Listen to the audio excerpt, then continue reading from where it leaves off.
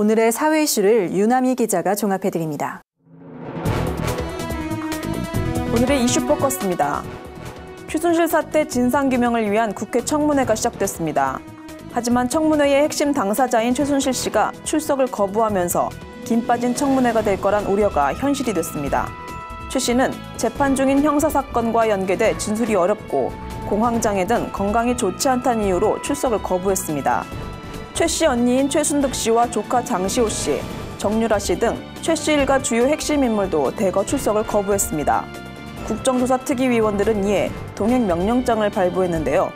동행명령장이 발부되면 교도관이 직접 구속 수감된 최 씨를 지정 장소까지 동행하게 해 청문회 출석을 강제하게 됩니다. 한편 6일 열린 첫 청문회엔 미르재단 모금 의혹과 관련된 8개 대기업 그룹 총수들이 대거 출석해 증언에 나섰습니다. 충남 천안과 전북 정읍 등 전국 곳곳에서 조류 인플루엔자 AI 의심 신고가 추가로 접수됐습니다. 야생조류 분변에서 AI 바이러스가 검출된 천안 하천 일대 갈대밭을 태우는 방역 대책까지 추진됐지만 피해는 눈덩이처럼 불어나고 있습니다. 갈대밭 소각이 이뤄진 곡교천과 풍서천은 철새 도래지로 해마다 수많은 철새가 날아들고 있는 지역입니다. 이곳은 지난 10월 말 철새 분변에서 AI가 발견된 데 이어 실제 인근 오리 농장에서도 AI가 발생한 바 있습니다. 전북 정읍도 AI 발생 농가 주변에 철새 도래지인 동림 저수지가 있어 추가 확산이 우려되는 상황입니다.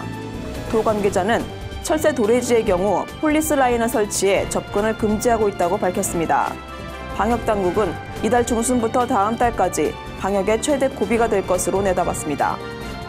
경기 침체가 장기화되면서 식당들의 경영난이 심화되고 있습니다. 그럼에도 국내 식당과 주점 사업체는 계속 늘어 65만 개에 육박했습니다. 우리나라 인구로 치면 식당이 국민 78명당 한개꼴로 있는 셈입니다. 퇴직자를 중심으로 영세의 자영업자들이 너도나도 외식업에 뛰어들면서 식당이 포화 상태에 이른 겁니다. 전체 음식점 10곳 중 8, 9곳은 직원 수가 5명 미만의 소규모 음식점이었습니다. 내수시장 경쟁이 치열해지며 외식업종의 폐업은 전체 자영업 폐업 가운데 가장 높은 비중을 차지했습니다. 외식업에 뛰어드는 사람은 갈수록 많아지는 반면 수요는 줄어 문을 닫는 식당이 급증하는 악순환이 반복되고 있습니다. 기업 649곳을 대상으로 조사한 결과 전체 신입사원 지원자 중 42%는 30대인 것으로 나타났습니다. 취업 문턱이 높아지면서 구직자들의 취업 준비 기간은 길어지고 첫 취업 연령도 높아지는 추세에 따른 것으로 분석됩니다. 또 신입보단 경력을 선호하는 채용 문화가 자리 잡으면서 취업 준비생들이 갈 수 있는 양질의 일자리가 줄어든 영향도 있었습니다.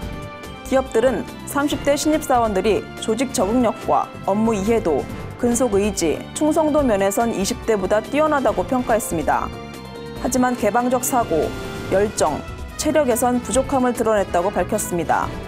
인사 담당자들은 특히 연령대 높은 신입사원 채용 시 위계 질서에 혼란이 오고 이직이 많다는 점을 들어 30대 채용에 부정적인 태도를 보였습니다.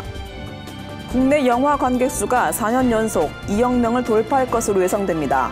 영화진흥위원회에 따르면 올 한해 총 관객 수는 약 1억 9,931만 명으로 2억 명에 가까운 수치를 보였습니다. 2013년부터 한국 영화와 외화를 합친 총 관객 수는 꾸준히 2억 명을 돌파했습니다. 한국 영화 개봉 수는 307편으로 처음으로 300편을 넘었습니다. 매일 한 편꼴로 새로운 영화가 개봉한 셈입니다. 한국 영화 점유율은 절반이 넘는 53%로 지난해와 비슷했습니다.